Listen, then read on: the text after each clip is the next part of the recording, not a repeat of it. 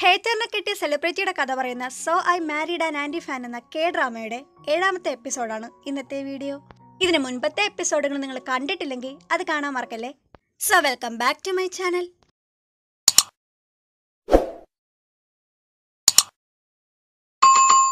J J ആണെങ്കിൽ ഹൂജുനെ phone വിളിച്ചിട്ട് പറയും എനിക്കിതിനോട് ഒരു ഇമ്പോർട്ടന്റ് ആയ കാര്യം പറയാനുണ്ട്. ഞാൻ ലീയുമായിട്ട് ഒരു അഗ്രിമെന്റ് സൈൻ ചെയ്യാൻ പോവുകയാണ്. ഹൂജുൻ പറയും അവളെ വിട്ടേക്ക്. അവളെ ഇതിനിടെ കൊണ്ടുവരേണ്ട ഒരു ആവശ്യമില്ല ജെ ജെ പറയും അപ്പൊ അവൾക്ക് നീ വാല്യൂ കൊടുക്കുന്നുണ്ട്. നീ അങ്ങനെ ചിലപ്പോൾ തിരിച്ചെടുക്കുമെന്നൊക്കെയല്ലേ പറയുന്നേ? അപ്പോൾ ഞാൻ ലീയുമായിട്ട് കോൺട്രാക്ട് സൈൻ ചെയ്യുന്നതിൽ ഒരു കുഴപ്പമില്ല ലിയെ പോലെ ഒരാളെ എന്റെ ഏജൻസിക്ക് എന്തായാലും അത്യാവശ്യമാണ്. ഈ സമയം ലീ ആണെങ്കിൽ അവളുടെ ഡ്രസ്സൊക്കെ വാഷിംഗ് മെഷീനിൽ ഇട്ട് സ്വിച്ച് ഓൺ ആക്കാൻ വേണ്ടി നോക്കുമ്പോൾ സംഭവം നടക്കുന്നില്ല. ഇവളാണെങ്കിൽ അതിന്റെ പിന്നിൽ ചെക്ക് ചെയ്ത് നോക്കുമ്പോൾ അതിന്റെ കണക്ഷൻ കൊടുത്തിട്ടില്ലെന്ന് മനസ്സിലാകുന്നു. ലീ പറയും ഈ വീട്ടിൽ ഒന്നും നേരച്ചവ വർക്ക് ചെയ്യില്ലല്ലോ. ഈ സമയം ലീയെ ഷോയുടെ ഡയറക്ടർ വിളിക്കുന്നു. ലീ പറയും ഇന്ന് നമുക്ക് ഷൂട്ടിംഗ് ഇല്ലല്ലോ. പിന്നെ എന്തിനാ വിളിച്ചേ? ഡയറക്ടർ പറയും ഇന്ന് നമുക്ക് എന്തായാലും അർജന്റായി ഷൂട്ട് ചെയ്തേ പറ്റുള്ളൂ. എന്തായാലും നമ്മൾ ഹൂജുവിന്റെ അപ്പാർട്ട്മെന്റിലേക്ക് പോവുകയാണ്. താനും അവിടേക്ക് വാ. അത് കേട്ട ഉടനെ ലീ മനസ്സിൽ പറയും ഈശ്വര ഇവിടെ ഉടനെ വരുമോ? ലീ ഉടനെ തന്നെ ഡ്രസ്സൊക്കെ മാറ്റി അപ്പാർട്ട്മെന്റിൽ നിന്നും വെളിയിലേക്ക് ഓടുന്നു. ജെ ജിയുടെ കമ്പനിയിലാണെങ്കിൽ അവന്റെ എംപ്ലോയീസ് പറയും നമുക്ക് ഇവിടെയുള്ള ട്രെയിനീസിനൊക്കെ ചേർത്ത് ഒരു ഗ്രൂപ്പ് ഫോം ചെയ്താലോ? ജെ ജെ പറയും ഏ അതൊന്നും നടക്കുന്ന കാര്യമല്ല. ഇനി ഗ്രൂപ്പ് ഫോം ചെയ്യുക. അതൊക്കെ വെറും മെനക്കേടാണ്. നിങ്ങളുടെ ചെല്ല് വേറെന്തേലും മാർഗം ആലോചിക്ക്. എന്നിട്ട് ജെ ജെ സ്വയം പറയും ഈ ഹൂജുനെതിരെ നിർത്താനുള്ള ഒരു ആർട്ടിസ്റ്റിനെ പോലും കിട്ടുന്നില്ലല്ലോ. ലിയാണെങ്കിൽ ആരും കാണാതെ അപ്പാർട്ട്മെന്റിൽ നിന്നും പുറത്തിറങ്ങിയിട്ട് എല്ലാരും വന്നു എന്ന് ഉറപ്പിച്ചിട്ട് വീണ്ടും അവിടേക്ക് വരുന്നു. ഹൂജുന്റെ ഫ്രണ്ടായ റിപ്പോർട്ടർ ആണെങ്കിൽ ഇവൾ അവിടെ വെച്ച് കാണുന്നു. അയാൾ ലീയോട് ചോദിക്കും ആ ലീ പിന്നെ സുഖാണോ? ലീ പറയും ആ പിന്നെ സുഖം. നിങ്ങളെ നിനക്ക് വിറ്റാമിൻ പാക്കേജ് തന്നോണ്ട് അടിപൊളിയായിട്ട് പോകുന്നു. അപ്പോഴേക്കും അവിടേക്ക് ഹൂജുന്റെ കാറ് വരുന്നത് കണ്ട് ഇയാൾ അങ്ങോട്ട് പോകുന്നു. മാനേജറോട് ഹായ് പറഞ്ഞിട്ട് ഇയാൾ നേരെ ഹൂജുനെ മീറ്റ് ചെയ്യുന്നു. ഇവരിങ്ങനെ ഹായ് പറയുന്ന സ്റ്റൈൽ കാണുമ്പോൾ ലീക്കാണെങ്കിൽ ഹൂജുനും റോയും തമ്മിൽ മീറ്റ് ചെയ്യുന്ന രംഗം ഓർമ്മ വരുന്നു. അതോർത്തിട്ട് ലീ പറയും ഹോ ഇവന്മാർ എന്ത് ഷോയാണ്? ലീ പോയി കഴിഞ്ഞിട്ട് ഹുജു റിപ്പോർട്ടറോട് ചോദിക്കും നീ ഈ ഷോയുടെ പ്രീമിയറായിട്ട് റിലേറ്റ് ചെയ്ത് ആർട്ടിക്കിൾ റെഡിയാക്കിയോ? ആ റിപ്പോർട്ടർ പറയും ആ ഞാനത് ചെയ്തോണ്ടിരിക്കുവാണ്. നിന്റെ കൂടെ ഷോ ചെയ്യുന്ന പെണ്ണ് സാധാരണക്കാരിയല്ലല്ലോ. നിനക്കിട്ട് പണി തരാനായിട്ട് കാത്തിരിക്കുകയല്ലേ? അങ്ങനെ ലീയെ ഷൂട്ടിങ്ങിനായിട്ട് മേക്കപ്പ് ആർട്ടിസ്റ്റുകൾ ഒരുക്കുന്ന സമയത്ത് ഈ ലേഡി ഡയറക്ടർ പറയും ഓ ലീയുടെ ഫേസ് ഒട്ടും ക്ലിയർ അല്ലല്ലേ? ഇത് മേക്കപ്പ് ചെയ്ത് ശരിയാക്കാൻ ഒരുപാട് സമയം എടുക്കുമല്ലേ ലീ പറയും ഏയ് എന്റെ സ്കിന്ന് ക്ലിയർ അല്ലെന്നോ? ഡയറക്ടർ പറയും സോറി ലീ ഞാനാണെങ്കിൽ ഉള്ള കാര്യം ഉള്ളതുപോലെ അങ്ങ് പറഞ്ഞു കളയും. ഈ മേക്കപ്പ് ആർട്ടിസ്റ്റുകൾ പറയും അങ്ങനെ പറയണൊക്കെ കൊള്ളാം. ആൾക്കാരെ നടി കിട്ടാത്ത നോക്കണം. അങ്ങനെ ഈ ഡയറക്ടർ പോയി കഴിയുമ്പോൾ ഹൂജനാണെങ്കിൽ അവിടേക്ക് വരുന്നു. ഹൂജു ലീയെ നോക്കിയിട്ട് പറയും നീ എന്തിനാ എന്നെ നോക്കുന്നേ? ലീ പുച്ഛിച്ചോണ്ട് പറയും ഓ നോക്കാൻ പറ്റിയ ഐറ്റം ഡയറക്ടർ അവിടെ നിന്നും കുറെ തുണികൾ എടുത്തുകൊണ്ട് വന്നിട്ട് പറയും ഇതാരാ ഈ തുണികളൊക്കെ വാഷിംഗ് മെഷീനിൽ കൊണ്ടിട്ടിരുന്നേ? ലീ ഓടി വന്നിട്ട് പറയും അയ്യോ കളയില്ലേ അത് എന്റെ തുണികളാ. എന്റെ അവിടുത്തെ വാഷിംഗ് മെഷീൻ കേടായതുകൊണ്ട് ഇവിടെ കൊണ്ടുവന്ന് നനയ്ക്കാമെന്ന് വിചാരിച്ച് ഹൂജനാണെങ്കിൽ അത് കേട്ടിട്ട് മിണ്ടാതിരിക്കുന്നു. ലീ ആണെങ്കിൽ ആ തുണികളൊക്കെ വാഷിംഗ് മെഷീനിൽ ഇടണ്ടായിരുന്നു എന്ന് വിചാരിച്ചു നിൽക്കും. ഡയറക്ടർ പറയും ഇവിടുത്തെ വാഷിംഗ് മെഷീന് കണക്ഷൻ കൊടുത്തിട്ടില്ല കേട്ടോ. ലീ ഓർക്കപ്പുറത്ത് പറയും ആ അതെനിക്കറിയാം. എല്ലാരും ഇവിടെ മൂത്തു നോക്കി അന്തം വിടുന്നു. ഡയറക്ടർ ചോദിക്കും എന്താ പറഞ്ഞേ? ലീ പെട്ടെന്ന് മാറ്റി പറയും ഓ വാഷിംഗ് മെഷീന് കണക്ഷൻ കൊടുത്തിട്ടില്ലല്ലേ? അപ്പൊ ഞാൻ ഈ തുണികളൊക്കെ നനയ്ക്കാൻ കൊണ്ടുവന്നത് വെറുതെ ആയി. ഹൂജു മനസ്സിൽ പറയും ഇവിടെ താമസിക്കുന്ന കാര്യം എല്ലാരും അറിയിക്കുമെന്നാ തോന്നുന്നേ. ലീ പറയും ഹോ ഇപ്പൊ എല്ലാരും സത്യം അറിഞ്ഞനെ. അന്നത്തെ ഷൂട്ടിങ്ങിനുള്ള കാര്യങ്ങളൊക്കെ നോക്കിയിട്ട് വന്നിട്ട് ഡയറക്ടേഴ്സ് പറയും ഞങ്ങൾ എല്ലായിടത്തും നോക്കി. അങ്ങനെ പ്രത്യേകിച്ച് ഷൂട്ട് ചെയ്യാനുള്ള കാര്യങ്ങളൊന്നും ഇല്ല ഇവിടെ. ഇന്നത്തെ ഒരു ദിവസം നിങ്ങൾ ഇവിടുത്തെ ജോലിയൊക്കെ ഒന്ന് ചെയ്യുമോ? അതായത് ക്ലീനിങ് ലീ ആണെങ്കിൽ ഓക്കെ എന്ന മട്ടിലിരിക്കുന്നു ഡയറക്ടേഴ്സ് പോയി കഴിഞ്ഞിട്ട് ഹൂജും പറയും ഞാൻ ക്ലീനിങ് ചെയ്യുമെന്ന് നീ ഒട്ടും വിചാരിക്കണ്ട. നീ ഇവിടെയാണ് താമസിക്കുന്നതെന്ന് എല്ലാരും അറിയിച്ചേ അടങ്ങുള്ളൂ. ഷൂട്ടിംഗ് തുടങ്ങുമ്പോൾ ഹൂജുനാണെങ്കിൽ വാഷിംഗ് മെഷീൻ കണക്ട് ചെയ്യാനും ലീ ആണെങ്കിൽ ക്ലീൻ ചെയ്യാനും പോകും. ഹൂജും പറയും ലീക്ക് ഒറ്റയ്ക്ക് ക്ലീൻ ചെയ്യാൻ കഴിയുമോ?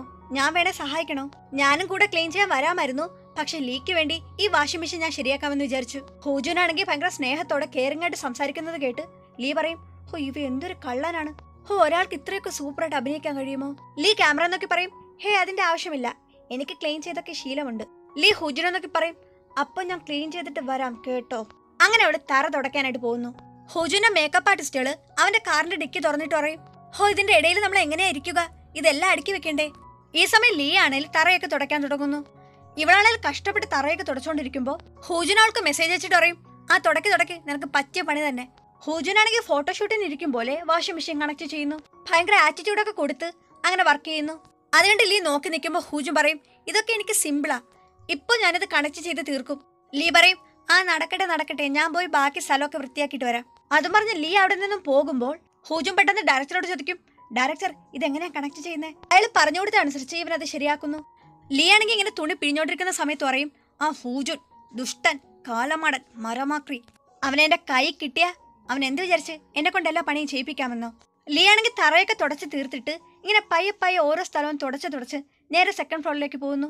ഹൂജുൻ തുറക്കരുതെന്ന് പറഞ്ഞ മുറിയെ ലക്ഷ്യമാക്കി ഇവിടെ നടക്കുന്നു. ഇവളാ മുറിയുടെ അടുത്തേക്ക് പോയിട്ട് പറയും എന്താ അവന്റെ രഹസ്യമെന്ന് ഇന്ന് കണ്ടെത്തണം? മുൻപ് ഹൂജു ലീയോട് ആ മുറിയിലേക്ക് പോകരുതെന്ന് പറഞ്ഞ് അവളെ വിലക്കിയത്? ലീ ആലോചിക്കുന്നു. ലിയ മുറി തുറക്കാൻ പോകുന്നതും ഹൂജിൻ അവിടേക്ക് വന്നിട്ട് പറയും ആ ലിയ എന്റെ കൂടെ വാ. ഞാൻ വാഷിംഗ് മെഷീൻ ശരിയാക്കിയത് നിനക്ക് കാണണ്ടേ? ലിയ അവനോട് പറയും വേണ്ട ഞാൻ ഈ മുറി വൃത്തിയാക്കിയിട്ട് വരാം. ഹൂജു പറയും അത് വേണ്ട ആദ്യം ഇത് കാണു. എന്നിട്ട് ലിയ നിർബന്ധിച്ച് വിളിച്ചോണ്ട് പോകുന്നു. ഹൂജു പറയും ദേ നോക്ക് ഞാൻ വാഷിംഗ് മെഷീൻ ശരിയാക്കി. ലിയ അത് കണ്ടിട്ട് പറയും ആ ശരിയാക്കിയോ നല്ല കാര്യം. അടുത്ത ഷൂട്ടിനായിട്ടുള്ള ഹൂജുന്റെ ടീഷർട്ട് ആണെങ്കിൽ മേക്കപ്പ് ആർട്ടിസ്റ്റ് നോക്കിയിട്ട് കാണുന്നില്ല. മേക്കപ്പ് ആർട്ടിസ്റ്റ് പറയും ആ ടീഷർട്ട് എവിടെ പോയി? അവസാനം ലീ തറ തുടക്കാൻ എടുത്തത് ഹൂജുന്റെ ടീഷർട്ടാണെന്ന് ഇവർ മനസ്സിലാക്കുന്നു. അവർ ഹൂജുനെ നോക്കി പറയും ദാ കിടക്കുന്ന ടീഷർട്ട് ലീ പറയും അയ്യോ ഇതെന്റെ ഡ്രസ്സിന്റെ കൂട്ടത്തിൽ കിടക്കുന്നത് കണ്ടിട്ട് ഞാൻ എടുത്തതാ. സോറി ഞാൻ പുതിയത് മേടിക്കാൻ പൈസ തരാം. എത്ര രൂപയാ? ആ മേക്കപ്പ് ആർട്ടിസ്റ്റ് ആണെങ്കിൽ മൂന്നെന്ന് കാണിക്കുമ്പോ ലീ പറയും ഓ മുന്നൂറ് രൂപയേ ഉള്ളൂ. മേക്കപ്പ് ആർട്ടിസ്റ്റ് പറയും അല്ല മുന്നൂറ് ഡോളർ. ബട്ട് ആക്ച്വലി അതിനിപ്പോൾ ആയിരം ഡോളർ ആയി കാണും. കാരണം ഹൂജുൻ എപ്പോഴും ബ്രാൻഡ് തുണികളാണ് യൂസ് ചെയ്യുന്നത്. ഹൂജുൻ അവിടേക്ക് വന്നിട്ട് പറയും ആ അത് വിട്ടേക്ക്. ആദ്യം അവളുടെ നാറിയ തുണികൾ എടുത്ത് കളയാൻ പറ. കൊണ്ടുവന്ന സമയം തൊട്ട് ഈ തുണികളൊക്കെ നാറാൻ തുടങ്ങിയതാ. ഹൂജുന്റെ മാനേജർ പറയും പോട്ടില്ലേ ടീഷർട്ടിന്റെ കാര്യം ഓർത്ത് വിഷമിക്കണ്ട. ലീ ആണെങ്കിൽ ഹൂജുന്റെ മേക്കപ്പ് ആർട്ടിസ്റ്റിനോട് പറയും സോറി ഞാൻ അറിഞ്ഞില്ല. ഞാൻ വേണേല ടീഷർട്ട് ഡ്രൈ ക്ലീനിങ്ങിന് കൊടുക്കാം. മേക്കപ്പ് ആർട്ടിസ്റ്റ് പറയും ഓ അതൊന്നും വേണ്ട ഞങ്ങളത് നോക്കിക്കോളാം. ജേജയുടെ കമ്പനിയിലെ എംപ്ലോയീസ് ആണെങ്കിൽ ഹുജുന്റെ പുതിയ ഷോയുടെ പ്രീമിയർ കാണുന്നത് ഇവ ശ്രദ്ധിക്കുന്നു. ലീ ആണെങ്കിൽ ഷൂട്ടിംഗ് കഴിഞ്ഞ് അങ്ങനെ എല്ലാരും അപ്പാർട്ട്മെന്റിൽ നിന്നും പോകാൻ വേണ്ടി വെയിറ്റ് ചെയ്യുന്നു. എല്ലാരും പോയി കഴിഞ്ഞിട്ട് ലീ ആണെങ്കിൽ കയറി സോഫയിൽ കിടക്കുന്നു. ഇവിടെ നോക്കുമ്പോൾ നേരത്തെ ഷോയുടെ ആൾക്കാർ ഹുജുന്റേതാണെന്ന് പറഞ്ഞുകൊണ്ട് കൊണ്ടുവന്ന ഒരു പൗച്ച് കാണുന്നു.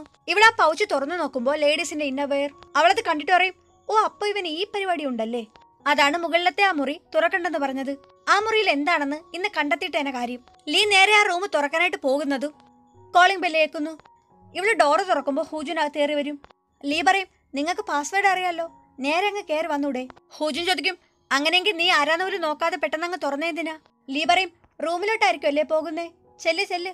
എന്നിട്ട് ലീ ആണെങ്കിൽ ആ പൗച്ചിലെ ഇന്നവേറും എടുത്തോണ്ട് അവന്റെ പിന്നാലെ പോകുന്നു. ഇവൾ അവന്റെ റൂമിന്റെ ഡോറിന്റെ അവിടെ നിൽക്കും. ഹൂജു ഡോറ് തുറന്ന് മുന്നോട്ട് പോകാൻ നോക്കുന്നതും ഇവൾ ഫ്രണ്ടിൽ കയറി നിൽക്കും. ഹൂജു ചോദിക്കും നിനക്ക് എന്താ വേണ്ടേ? ലീ ആ പൗച്ച് കാണിച്ചിട്ട് പറയും ഇത് നിങ്ങളെയല്ലേ? നിങ്ങൾ ഇത്തരക്കാരനാണെന്ന് എനിക്ക് ചെറിയ ഡൗട്ട് ഉണ്ടായിരുന്നു. ഇപ്പൊ കൺഫേം ആയി. ഹൂജുനത് തുറന്നു നോക്കുന്നതും അതിനകത്തുള്ള ഇന്നോവേഴ്സ് ഉണ്ടാവാൻ ഞെട്ടുന്നു. ലീ പറയും ഓ ഒന്നും അറിയാത്തതുപോലെ. എന്തൊരു അഭിനയമാ? ഹൂജും പറയും ഇത് എന്റേതല്ല എന്നിട്ട് അവൾക്ക് വിശ്വാസം വരാൻ വേണ്ടി ഇവൻ അവന്റെ മാനേജറെ വിളിക്കുന്നു. ഹൂജു മാനേജറോട് പറയും ഇതെന്താണെന്ന് അവൾക്ക് പറഞ്ഞു കൊടുക്ക്. മാനേജർ പറയും ഇത് ഹൂജിന്റെ ഒരു ക്രേസി ഫാൻ കൊണ്ടിട്ടിട്ട് പോയതാ. അത് ആദ്യമേ എടുത്ത് കളയാൻ ഞാൻ മേക്കപ്പ് ആർട്ടിസ്റ്റിനോട് പറഞ്ഞായിരുന്നു. അവർ മറന്നു പോയതാകും. എന്നിട്ട് മാനേജർ ചോദിക്കും വേറെ കുഴപ്പമൊന്നുമില്ലല്ലോ അല്ലേ? ഇപ്രാവശ്യം ചത്ത എലി ആരും ബോക്സിലാക്കി അയച്ചില്ലല്ലോ അല്ലേ? ഹൂജും പറയും ആ ഇല്ല ഇല്ല. പിന്നെ ശരിയെന്ന് പറഞ്ഞുകൊണ്ട് അവൻ ആ കോൾ കട്ടാക്കുന്നു ലീ ചോദിക്കും നിങ്ങൾക്ക് ചത്ത എലിയൊക്കെ ഗിഫ്റ്റാക്കി അയച്ചിട്ടുണ്ടോ? ഹൂജു പറയും നീ വിഷയം മാറ്റാൻ നോക്കണ്ട. നീ ഇവിടെ നിൽക്കണമെന്ന് അത്യാവശ്യമൊന്നുമില്ല. ലീ പറയും നിങ്ങളെന്തിനാ ഇത്ര ഷോ കാണിക്കുന്നേ? ഇത് നിങ്ങളുടെ വീടൊന്നും അല്ലല്ലോ. ഇറങ്ങി പോകാൻ പറയാൻ. കമ്പനി വക അപ്പാർട്ട്മെന്റ് വന്നിട്ട് വലിയ ജാട ഇടണ്ട. ഹൂജും പറയും ഹലോ ഇത് എന്റെ സ്വന്തം അപ്പാർട്ട്മെന്റ് തന്നെയാ. വേണേ വിശ്വസിച്ചാ മതി. ഹൂജും പോയി കഴിഞ്ഞിട്ട് ലീ ആലോചിക്കും ഇനിയിപ്പോ ഇത് അവന്റെ സ്വന്തം അപ്പാർട്ട്മെന്റ് തന്നെയായിരിക്കുമോ? അങ്ങനെ ഓരോ ദിവസം അവൾ അപ്പാർട്ട്മെന്റിൽ ഇരുന്ന് അവൾ മനസ്സിലാക്കുന്ന ഹൂജുന്റെ സ്വഭാവത്തെ പറ്റി എഴുതാൻ തുടങ്ങുന്നു. ലീ എഴുതും എല്ലാ ആൾക്കാരുടെയും ശ്രദ്ധ പിടിച്ചു പറ്റാൻ വേണ്ടി എന്തോ അയാൾ ചെയ്യും. ഫാൻസിനൊക്കെ ഒരുപാട് കെയർ ചെയ്യുന്നുണ്ടെന്ന് വിശ്വസിപ്പിക്കാൻ വേണ്ടി അഭിനയിക്കും. അങ്ങനെ ലീ ഓരോ പോയിന്റും ഹൂജനെ പറ്റി എഴുതുന്നു.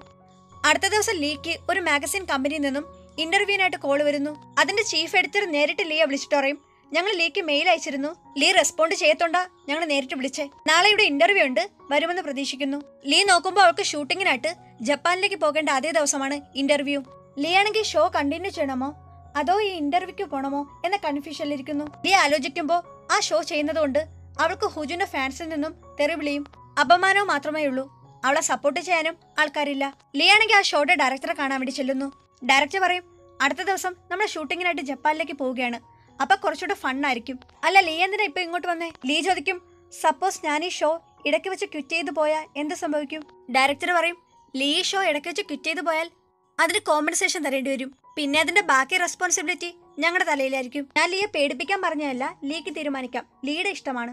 ഈ സമയം ജെ ജെ ആണെങ്കിൽ യാങ്ങിനെ വീട്ടിലേക്ക് കൊണ്ടാക്കാൻ അസിസ്റ്റൻസിനോട് പറയുന്നു. യാങ് വണ്ടി കയറി കഴിയുമ്പോഴാണ് ലീ അത് കാണുന്നത്. ലീ നോക്കുമ്പോൾ ജെ ജെ അവിടെ നിൽക്കുന്നു. ജെ ജെ പറയും ഞാൻ എന്റെ ട്രെയിനീസിനെ വീട്ടിലേക്ക് പറഞ്ഞേക്കുമായിരുന്നു ലീ എന്താ ഇവിടെ വന്നേ? ലീ പറയും ഞാൻ ഷോ ഡയറക്ടറെ കാണാൻ വേണ്ടി വന്നതാ. അങ്ങനെ അവർ സംസാരിച്ച് നിൽക്കുന്നു. അടുത്ത ദിവസം ഹൂജുനും മാനേജറും എയർപോർട്ടിലേക്ക് പോകാൻ വേണ്ടി നിൽക്കുമ്പോൾ ഈ മാനേജർ ആണെങ്കിൽ ടെൻഷൻ അടിച്ച് നിൽക്കുന്നത് ഇവൻ കാണുന്നു. ഹൂജുൻ ചോദിക്കും എന്താ പ്രശ്നം? മാനേജർ പറയും ലിയെ വിളിച്ചിട്ട് കിട്ടുന്നില്ല. ഹൂജും പറയും അവൾ അപ്പാർട്ട്മെന്റിൽ കിടന്ന് ഉറങ്ങുന്നുണ്ടാവും. മാനേജർ ചോദിക്കും അവൾ അവിടെയാണ് താമസിക്കുന്നത് ഈ സമയം ലീ ആണെങ്കിൽ ആ മാഗസിൻ കമ്പനിയിലേക്ക് ഇന്റർവ്യൂവിനായിട്ട് പോകുന്നു. ലിയത്തയുടെ മാനേജർ ആണെങ്കിൽ ഹൂജുന്റെ അപ്പാർട്ട്മെന്റിൽ വന്ന് നോക്കുന്നു. അയാൾ ലീയെ വിളിച്ചിട്ടാണെങ്കിൽ അവൾ ഫോൺ കൊടുക്കുന്നില്ല. ലീ ഇന്റർവ്യൂവിന് എത്തുമ്പോൾ ആ ചീഫ് എഡിറ്റർ ചോദിക്കും താൻ ഇവിടെ വർക്ക് ചെയ്യാൻ തയ്യാറാണോ? ലീ ഓക്കെ ആണെങ്കിൽ ഇന്ന് തന്നെ ജോയിൻ ചെയ്യാം. ലീ പറയും ഞാനൊരു ഷോ ചെയ്യുന്നുണ്ട്. അപ്പോൾ അത് ക്വിറ്റ് ചെയ്താലേ ഇവിടെ വന്ന് ജോയിൻ ചെയ്യാൻ കഴിയുകയുള്ളൂ. ഈ ചീഫ് എഡിറ്റർ പറയും ലീ ആ ഷോയിൽ നിന്നും ക്വിറ്റ് ചെയ്യേണ്ട ഒരു ആവശ്യമില്ല നമുക്ക് ആ ഷോയിൽ നിൽക്കേണ്ടതാണ് ആവശ്യം. അവിടെ നിന്നുകൊണ്ട് ഹൂജുന്റെ യഥാർത്ഥ സ്വഭാവവും ഈ എന്റർടൈൻമെന്റ് കമ്പനിയുടെ മറ്റൊരു വശവും ലിയ പറഞ്ഞു തരണം. ഞങ്ങൾക്ക് വേണ്ടതും അതാണ്. ഹുജുനും മാനേജറും എയർപോർട്ടിലേക്ക് എത്തുമ്പോഴേക്കും ഷോയുടെ ആൾക്കാരും അവിടേക്ക് വന്നിരുന്നു. ലീ എവിടെ പോയെന്ന് ഡയറക്ടർ ചോദിക്കുമ്പോൾ അസിസ്റ്റന്റ് പറയും ലീ ഷോ ക്വിറ്റ് ചെയ്യുന്നതിനെ പറ്റി ആലോചിക്കുന്നുണ്ടെന്ന് മാഡം പറഞ്ഞിരുന്നു. അത് കേൾക്കുമ്പോൾ ഹൂജും കുറച്ച് മൂഡ് ഔട്ട് ആകും. ഡയറക്ടർ പറയും എന്തായാലും നമുക്ക് കുറച്ചു നേരം കൂടെ ലിയ വെയിറ്റ് ചെയ്യാം. ഹൂജുൻ അങ്ങനെ മിണ്ടാതെ എയർപോർട്ടിൽ നിൽക്കുന്നു. ചീഫ് എഡിറ്റർ ആണെങ്കിൽ ലിയോട് എഗ്രിമെന്റ് സൈൻ ചെയ്യാൻ പറയും. ഷോയുടെ ആൾക്കാരാണെങ്കിൽ ലിയം വെയിറ്റ് ചെയ്ത് അവിടെ ഇരിക്കുന്നു. ഹൂജുൻ ആണെങ്കിൽ ഭയങ്കര ടെൻഷനായിട്ട് അങ്ങനെ നിൽക്കുന്നു. ലീ ആണെങ്കിൽ എഗ്രിമെന്റ് സൈൻ ചെയ്യണോ? വേണ്ടേ? അങ്ങനെ ആലോചിച്ചിരിക്കും. അതിൽ സൈൻ ചെയ്യാൻ വേണ്ടി പോകുമ്പോൾ ഇവൾ ഹൂജുനെ ഓർത്തിട്ട് അത് വേണ്ടെന്ന് പറയും. ലീ പറയും എനിക്ക് ഇങ്ങനെ ഒരു ജോബ് ഓഫർ സ്വീകരിക്കാൻ താല്പര്യമില്ല. ചീഫ് പറയും ഞാൻ ഈ ഓഫറുമായിട്ട് ഇവിടെ തന്നെ കാണും. ഇയാളുടെ മനസ്സെപ്പം മാറുന്നോ അപ്പൊ ഇവിടേക്ക് വരാം. ലീ അങ്ങനെ വെപ്രാളപ്പെട്ട് എയർപോർട്ടിലേക്ക് എത്തുന്നു. ലീ പറയും ഈശ്വര ഞാൻ ആദ്യമായിട്ടാണ് എയർപോർട്ടിലേക്ക് വരുന്നത് ബാക്കിയുള്ളവർ എങ്ങനെ കണ്ടെത്തും? ഡയറക്ടറും മാനേജറും ഒക്കെ ലിയ വെയിറ്റ് ചെയ്തിരിക്കും. ലീ ആണെങ്കിൽ അവിടെ എയർപോർട്ടിൽ എത്തിയെന്ന് മാനേജർ അറിയിക്കും. മാനേജർ പറയും സമയം ലേറ്റാകുന്നു ലീ ഇവിടെ എത്തിയെന്നാ പറയുന്നേ. നിങ്ങൾ ആദ്യം പൊയ്ക്കോ. ഞങ്ങൾ അടുത്ത ഫ്ലൈറ്റ് വരാം. അത് പറഞ്ഞ് തിരിയുന്നതും ഹൂജനെ കാണാനില്ല. ഈ സമയം കൊണ്ട് ഹൂജു നേരെ ലീയുടെ അടുത്തേക്ക് ചെല്ലുന്നു. ഇവൻ ലിയോട് പറയും എന്താ നോക്കി നിൽക്കുന്നേ? വേഗം വാ. ഇവനങ്ങനെ ലീയുടെ കൈയും പിടിച്ച് ബാക്കിയുള്ള ഷോയുടെ ആൾക്കാരുടെ അടുത്തേക്ക് ഓടുന്നു. ലീ ഈ സമയം ഹൂജുനെ ശ്രദ്ധിക്കുന്നു. അങ്ങനെ ഒരു ഫ്ലൈറ്റ് മിസ്സാകാതെ അവിടേക്ക് ചെല്ലുന്നു. അവിടെ വെച്ച് ഇന്നത്തെ എപ്പിസോഡ് തീരുകയാണ്. അടുത്ത എപ്പിസോഡിനായി കാത്തിരിക്കൂ.